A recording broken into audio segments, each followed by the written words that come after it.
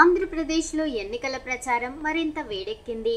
అధికార టీడీపీ ప్రతిపక్ష వైసీపీల మధ్య మాటల యుద్ధం రంజుగా సాగుతుంది. పవన్ కళ్యాణ్ సైతం తనదైన శైలిలో చంద్రబాబు జగన్లపై విమర్శలు గుప్పిస్తూ ప్రచారంలో దూసుకుపోతున్నారు. అయితే ఆయన ఈరోజు విజయనగరంలో ప్రచారం కొనసాగిస్తున్నారు. జనసేన అధినేత పవన్ కళ్యాణ్ స్వల్ప అస్వస్థకు గురయ్యారు. విజయనగరం జిల్లా అయోధ్య మైదానంలో స్టేజిపై ప్రసంగిస్తుండగా పవన్ అభిమాని కాళ్ళు పట్టుకోవడంతో ఆయన కింద పడిపోయారు.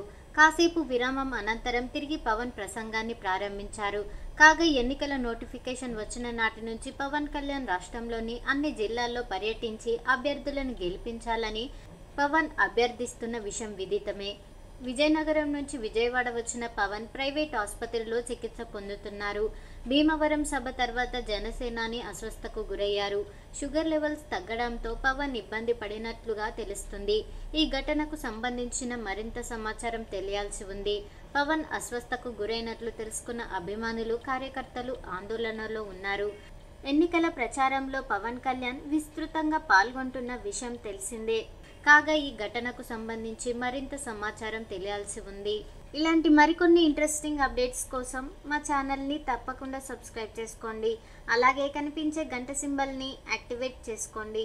మేము అప్లోడ్ చేసే వీడియోస్ మీ మొబైల్లోనికి వచ్చి చేరుతాయి. చూసి ఆనందించండి.